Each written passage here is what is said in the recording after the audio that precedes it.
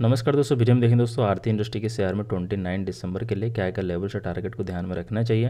दोस्तों नोटिस करें तो आरती इंडस्ट्री स्टॉक आपको एक्जैक्टली यहाँ से एक डाउन ट्रेंड में कंटिन्यू करता देखने को मिल रहा था, उसका ब्रेकआउट हुआ। ब्रेकआउट होने के बाद देख रहे हैं स्टॉक में शानदार तेज़ी आपको देखने को मिल रहा है और अपना प्रीवियस का रेजिस्टेंस को भी ब्रेकआउट करके क्लियरली स्टॉक ऊपर बढ़ता हुआ दिखाई दे रहा है। टारगेट की बात करें, पहला टारगेट आने वाला यहाँ पर रहेगा सेवन में रहेगा और नेक्स्ट टारगेट देखने को मिलेगा आपको सेवन में राइट उसको अगर ब्रेकआउट करें तो फिर देखने को मिलेगा आपको एट पॉइंट सेवन फाइव में नेक्स्ट रहेगा दोस्तों यहाँ पे नाइन फाइव नाइन पर राइट दोस्तों अगर बात करें आरती इंडस्ट्री के शेयर में नियरेस्ट में हमें कौन से कौन से लेवल्स या कौन से कौन से टारगेट को ध्यान में रखने की आवश्यकता रहेगी तो आपको दिखाई दे रहा है।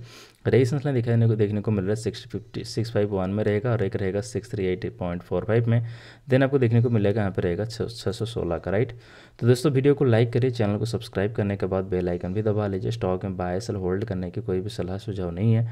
वीडियो एजुकेशन पर्पज़ में ही बनाया गया। धन्यवाद दोस्तों।